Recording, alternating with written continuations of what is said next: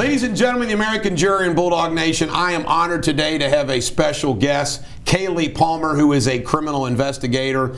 And this is going to be our first show covering true crime. And with anticipation and belief that it's going to work very well, uh, the game plan is, is to do more of these. And Kaylee is one of these many Americans. Isn't this kind of something, Kaylee, that goes across the country, that more and more average Joe citizens like you are digging into these true crime stories? Absolutely, yeah. How did you get started? I mean, well, I mean, I mean, what made you want to get into it? I was a licensed private investigator, so it just kind of unfolded from there. I wanted to still use my research, every my knowledge, everything that I had already learned, and still help people. So I started trying to help people on cases where they were missing loved ones.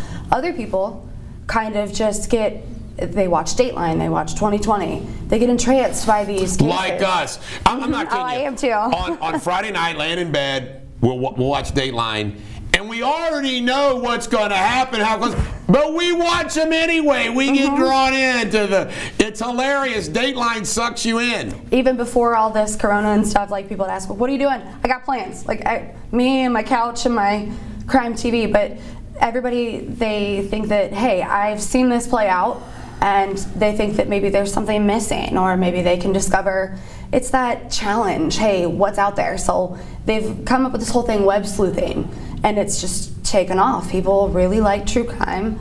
I think they like to understand the psychology of things where why did someone do this? Why would you know it, have you heard of the chris watts case? The colorado dad seemingly perfect right. kills his wife his you know two kids and Put his unborn child. Yeah and people are like wait if you see him on, you know, in any other situation, you think he's the perfect guy, the perfect husband, the, the perfect dad. And then, you know, all of a sudden he meets this woman and cheats on his wife and now his family's dead. Now he wants right now he wants to get out of prison. Right. It's ridiculous. So now now you do this from home. Mm-hmm. Um, I always say that the internet and social media, we're all a photographer, we're all a journalist. You have access to the information. Mm-hmm. You do freedom of information requests. Yes. You, you know, uh, Kaylee, one of the things that I truly believe in is how average Joe American citizens can do so many jobs sometimes better than the real folks. I'm talking about politics, I'm talking about police investigations. There's some really wonderful police officers out there investigating, but there's also some dunce caps. Yes, yes. And you've had that in every profession right. and everything you do, and the internet and what we do now has changed everything. Now, the, the, the one we're going to cover uh, in, a, in a second here is uh, Alexis Sharkey. Yes. Now, tell us who Alexis Sharkey is and what this, just a, very briefly, what this case is about. So, Alexis Sharkey was a 26 year old influencer who she also worked in uh, the MLM multi level marketing business. Um, and this has been on the news. Yes. Keep going. It, it started happening around Thanksgiving, so it's been a recent story. Um, she went missing the day after Thanksgiving and they actually ended up fa- finding her deceased on the side of the road in Houston. Naked. Her, naked. Yep, her, she was nude, and they found her the next day after she kind of went missing. So this happened on Saturday. That her body was found by a city worker. They found her. Um, he got distressed. He called his supervisor, like, "Hey, I think there was a mannequin on the side of the road. I need you to check this out." Ended up being Alexis Sharkey. Um, she was found just a few miles away from her house, and they have um, her family lives in Pennsylvania. She had just recently moved to Houston, Texas. Um, she had been there for less than a year, and she had just recently gotten married as well. When they say social influencer, um, I mean, how many? Instagram? I mean, how many followers did she have? I mean, was she Kardashian like, no. or was she small time? She was more small time. She was what they call like a micro influencer, I think is what okay. the term is. And um, at the time that she actually passed away, on Instagram itself, she had a little over 20,000 followers. Now she has over 60,000. Well, what I want to do is I want to start putting up on the screen some documents and photos that you provided us, and we're just going to keep talking about this case as we go through it. Is that okay with you? Yeah, absolutely. Can we, can we put up the first? All right, this is Lisa Sharkey. Alexis Sharkey. Alexis Sharkey, my yes. bad. Alexis Sharkey. Um, what a beautiful young lady. Yeah, absolutely. I think that How was How old was she? 26. 26. Yeah. Wow. And I think that picture was taken rather recently. I'm pretty sure it was when uh, she was proposed to, and that is her fiance, or at the time. Uh, in the How old is he? 49. So we got a 26 40. By the way, I'm just going to go ahead and say this at the outset before we go to the next picture. The husband did it. you know, Yeah. what's the percentage of when the husband does it? About 85% of the time is when the significant other is responsible. All right, let's go through it. Next picture, please. It's just another picture of her. Yeah, just kind of Looking down to earth. sultry. you know, by the way, I, I want to make a comment about this picture. This is hilarious. I saw a picture of Tomi, um, who's the Fox News, Tomi Lahren, okay? She put a picture up like this with a great uh, Make America Great hat, and it got like 100,000 likes. I'm like, what? It's just a freaking picture. Kaylee, I wish I was hot because you could just put a picture of your hot and you get 100 likes. I don't understand it. It's know. not fair. A lot of people have said that she's getting a lot of the attention she's getting because she's beautiful. She was an Instagram influencer. I think that's the truth. well, there. We like beauty. Some people think that there's a lot of things going on in the area and they're not getting attention. Like there may be a serial killer. I don't think this has anything to do with that. You think there's a serial killer around here or about there? in Houston, yeah, out there. Thank God. Keep the serial killers in No. Houston. What's the next photo? What do we got here? All right, what's this? Okay, so- you chose this. What what what what's this picture showing? The big the big fuss right now on social media is the potential suspects if she was murdered or if something if foul play was involved who might be involved. Now, I mentioned that she had just moved to Houston and when she moved there, there was a friend that she had met. Her name's Tanya Ricardo. And Tanya Ricardo is who you see on the screen right now. She She's the one that's not in the dress. Correct. Meghan Markle's in the dress. Yes. Go ahead. So she met this Tanya Ricardo on Bumble BFF. I think it's like a Tinder for friends. Okay. She wanted to meet people in her area. Come to find out, after all this transpired and Alexis is deceased, we find out that her friend, who has come forward and done interviews before, she has actually been so obsessed with people before, as Meghan Markle. She had eight procedures done in one day and spent, I think they said, $30,000 in surgery to look like Meghan Markle. You know, Bruce Willis wanted to look like me, and he only had to have one surgery to look like me. Anyway, go ahead. hey, you know what? It just I think these you have those people. They Right. want to look like someone. They want to be someone Sad so in bad. Yeah, It's and sad, but it's true. It yeah. happens. And some people think that um, there's a couple So she befriended her. Yes, and they were friends, and she was one of the last people that ever saw her alive. So she's a suspect. In my eyes, And in, your, in my by the eyes, way, yes. it's okay to say she's a suspect. In your opinion, suspect. It's not slander. Next photograph. So then you have Just another one. Yeah, you have Alexis, who's just this beautiful girl, and she had more of the following. She had more of the what people think Tanya might have wanted. Right. You know, it's it's a Ah, so you think you, you you got a theory here Mm-hmm. that she could be maybe jealous of her. Yes, I do. You know, and I'm not the only one. There are a lot of people out there that think that might be a possibility. I want to I want to share this with you. I have a uh, I have two beautiful daughters, and one of them, Charlie Ann, um, she looks a little bit like her, same age. You know, she's she's 30, but but I, I see this and I think, my God, some if something like that happened to my daughter, I would just I couldn't live with my. It would just Oh, be yeah. awful. Next photograph, please. it's awful, yeah. All right, now what is this document here? So now we have the other side of things, or as we talked about. You said the husband did it. It's always You know? the husband, 85% of the time. Well, we have evidence pointing to the fact that this man had even lost when he was married before he had children. And back in it was 2007 to 2009, I think, the time they were getting divorced, him and his ex-wife. And there were a few things that transpired that you'll see on the screen um, over the next few slides that they talk about what he had done and to his ex-wife and the things that he had done to actually lose. What were some of the things that he did? well, he ended up sending. We can say anything on the show. He sent private pictures to her employer, to his ex-wife's employer, which is at the forensics office. So I can only speculate on what those photos were, but he was trying to hold that against her and hold her hostage to his ways and what he wanted. So he ends up trying to also get the kids So on you his think side. so you think this was some of that revenge porn or like that type of thing? yeah, and you know, a lot of people are like, well, why would this man? By the way, that is so messed up. It is, yeah. I mean, I mean, you know, when you think about spouses, boyfriend, girlfriend dating, to, to to violate that privacy is just despicable. Yeah, you trust them at the time you're with them. Right, right. And they it's betray not cool. that. It No. violates every man code there is to do that to a woman. Well, it shows you what kind of a person they are in reality, Absolutely. you know? And Absolutely. They just have all of these things that are coming out. So he did not get custody. He has to have supervised. Mm-hmm. Wow. all the things that he did led up to him even having his sister and his mother having to supervise his visits with his children. And if I'm not mistaken, his daughter is about one of his daughters is about the same age as Alexis. well, how old is he? 48. I already asked you this. He's 49. 49. She would be I think she's Yeah, around he'd the have chil- 25, 26. Yeah, that's why he'd have yeah. children. And this happened just a little over 10 years ago. So she was 16 maybe, 15, and he had to have supervised visits. With a 16. That's weird. Yeah, you know, I mean- Next. Next. She, couldn't be much older than that. Uh, we can skip that one. That's another picture of her looking sultry. Now, what's this?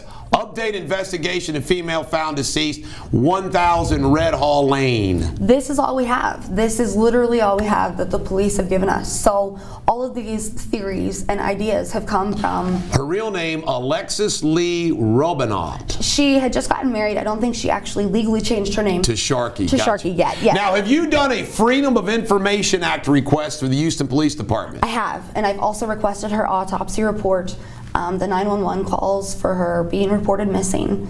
I've requested any of the body cam. So we'll get to do another show when you get all this stuff. Yes, yes. Keep will. going. What else? Yeah, so um, a lot of people, why I brought some of the things up about the ex husband, or uh, the husband, but the ex in the divorce proceedings we were looking at. We're going to solve this crime Yes. of Lisa Sharkey right here on the Bulldog Show. We are. Go ahead, Kaylee. And so I brought those up because a lot of people are like, well, why would this man do this to his wife? Why would he leave her nude on the side of the road?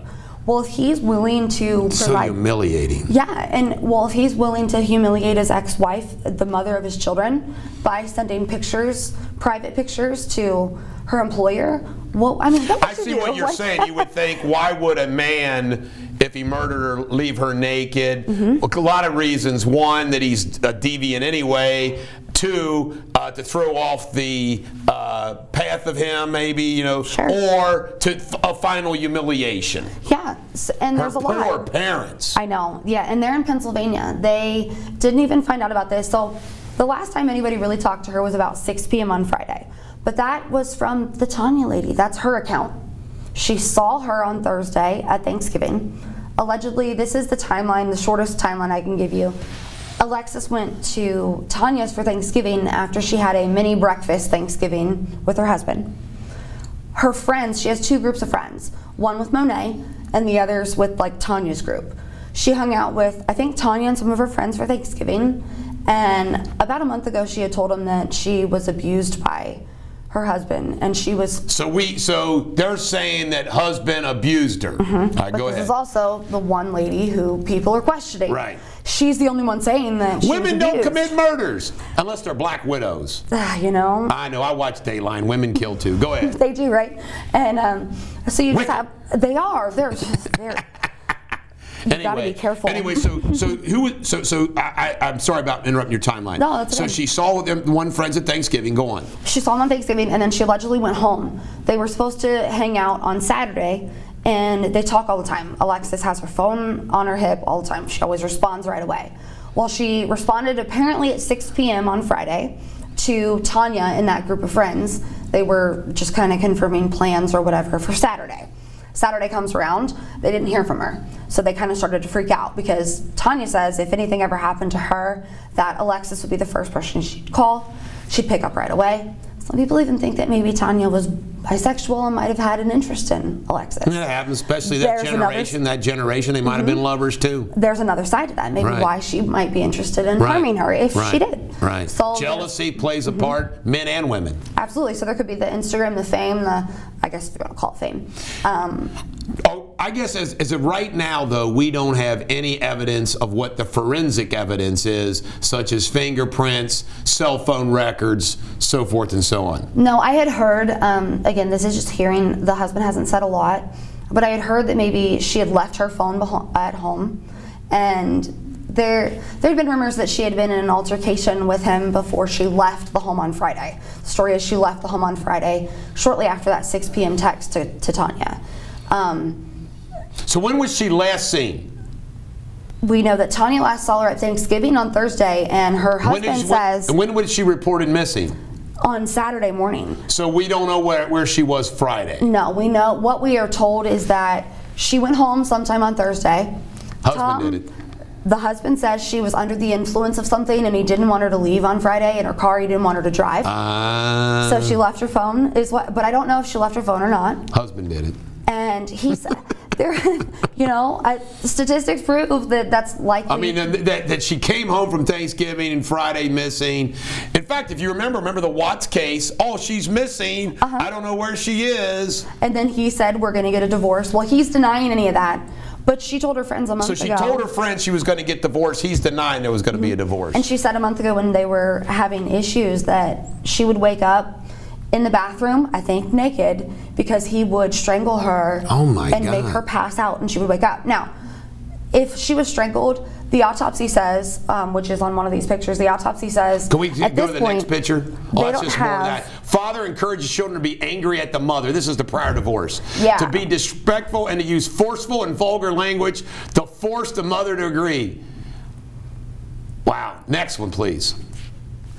So this right here is the last status update we've had on her autopsy, that it's still pending. Okay. Um, toxicology, by the way, yeah. they rush them, but toxicology can take a month. Absolutely. I mean, sometimes it can take longer. They haven't said they're waiting on toxicology, but that's what I. I mean, we're left Manner to assume. of death pending. Yeah, they said that there were no visible signs, no visible signs on her that would cause her death. Now, she could have been smothered, and you might not physically see- Correct. You have to read between the lines. They didn't say we know she wasn't harmed, but they said they're not ruling anything out, and there were no physical wounds on her that would prove that.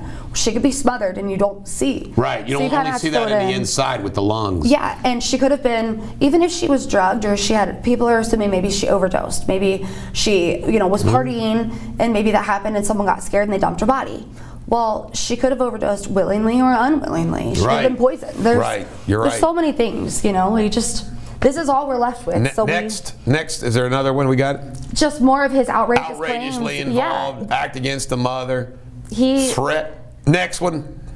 he has gone to the extreme to torment the ladies in his life. And per the divorce documents, I had only known of two marriages the one to Alexis and the one prior um, with his, his children. Well, in the divorce documents, it says that he had a current wife at that time. That was in like 2009 or so. Well, it wasn't Alexis. They didn't know each other. So this So is he's his might have third been married wife. more. Yeah, I don't know how many times he's been married, but Do we have a picture? What, what's least next three. picture? I think we got some pic. There he is. There's the man of the hour. There's Yeah. the man. He looks like a killer to me. Everyone is definitely uh, speculating. Well, that's a picture of better times, I guess. Yeah. Do we have any more pictures? Oh, that the, that him at the wedding? That's when she was getting sized for her dress, I think, for the wedding. Um, Pretty dress. Yeah, and a lot of people were saying he's so controlling. Do you see him in that picture? He's even controlling we- what she wears. Most men and- aren't involved in picking out the wedding dress. Right, I've seen, you know, I've heard that. And maybe it's because, though, also she got married right around the time that she was moving. She had moved from Pennsylvania to Colorado.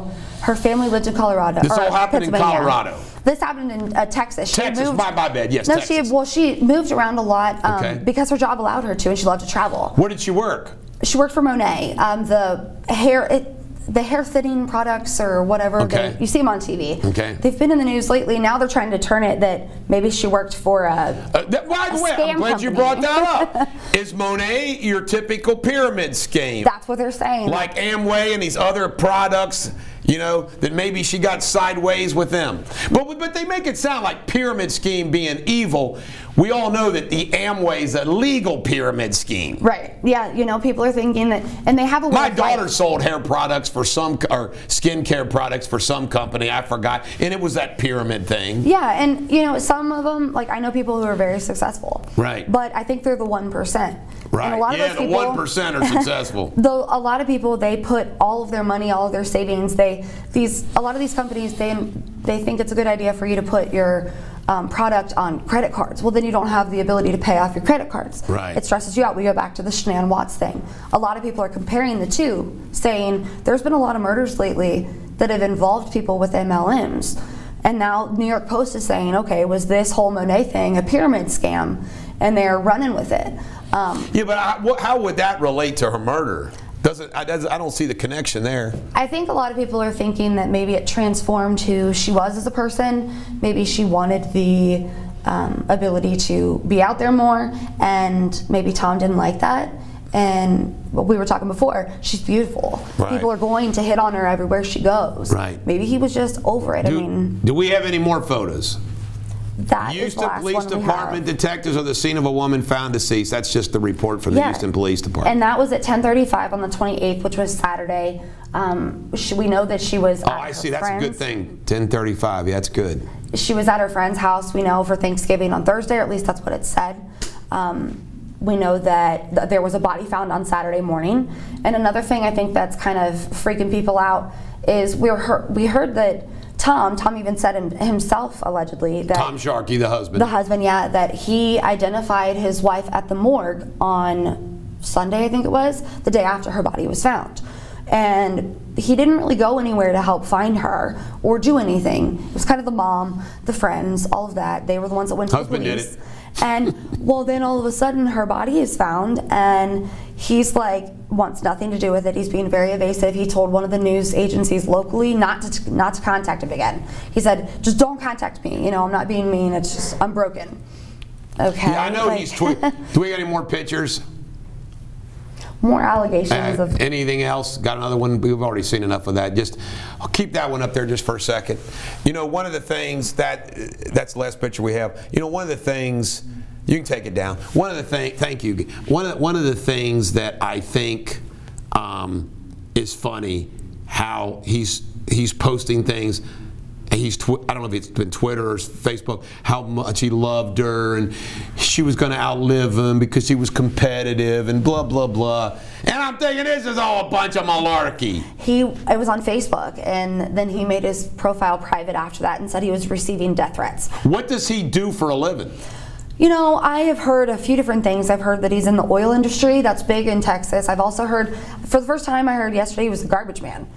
I hadn't seen any of that yet. Nothing wrong with a garbage man. Not at all, no. But that gives you a lot a of opportunities to Right. to dispose of evidence. That's a good point. so it never thought about that. Yeah, it gives you. I mean, you're at a lot of different stops. I've watched enough of these shows, and if I ever go into killing business, what I'm going to do is I'm going to be like Ozarks. I'm going to buy a funeral home with an incinerator.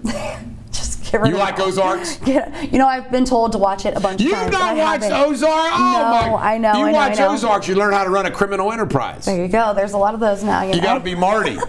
They're giving you ideas. They're putting ideas in So, what is the very la- as we wrap up here? What's the very latest being reported by the public news agencies? Nothing. No. Okay. There's literally nothing. But you're going to stay on top of this as an amateur or professional criminal investigator sleuth. Absolutely. Now, you're you're married, got kids, One child. one yep. child. Okay, mm-hmm. so you do this on the side. Yes. Well, that's fun. Yeah. I hope we solve this on the Bulldog Show, Let's do it. Kaylee. Let's do it. I mean, so you just keep the we'll have you come back, but I find this intriguing. And you know what? I know this is sweeping across the country. Everybody loves these stories. It's why the news covers from gavel to gavel people like the, the murder trials. And when they come, you know, the, the, the Dooley case, um, Yes. the bathroom drowning case, which, by the way, he did it. Ri- You know what, Ryan Widmer. You know, I Ryan was Widmer. I was 100%. He didn't do it. He didn't do it. I actually I know someone who knows him. Yeah, I know that. I know someone who knows him. But uh, I was dead set on he didn't do it. I watched a show a year or so ago, and it was two. I think they were former criminal defense attorneys who were trying to help the man. They were like, "Look, give us five pieces of evidence that we can help you. We can get you out of here if we can prove this." None of them panned out. Not a single one. Well, here, here's why. You know, Ryan Widmer, he he never testified. He had three chances to take the stand. Not one, not two, three chances. He's still trying and he and he didn't he didn't take the stand. I mean, you just if you're innocent, you need to testify. And I can understand the And, first or second. and, and I can tell right now, David Dooley, the law, lawyers, I can tell right now, lawyers are stupid. I can't tell you how many times lawyers will tell, oh, you can't testify, you can't testify, because maybe something doesn't all add up. People don't expect everything to add up perfectly. Right. They want to hear from the person. And even though you're innocent until proven guilty, Kaylee, people assume that if you're not testifying, they're like, eh. Because if you're innocent of a crime, aren't you shouting from the mountaintops? Yeah, you know, and You're shouting from the mountaintops. Absolutely. I didn't do this. yeah, no, I agree, and that's what people are saying about this. You know, Tom Sharkey. He's damned if he do, he's damned if he doesn't, because he had the lawyers up. And then people are like, oh, why did he get a lawyer? Why is he? And then, or he talks to the cops. He's like, well, why is he being so helpful? Well, it doesn't mean that guilty people try to act innocent, but I'm just saying if you are innocent, you do anything and everything. And it's also the weird reaction, you know, Yeah. the Dateline reaction like like the Watts case. How he acted was pretty weird.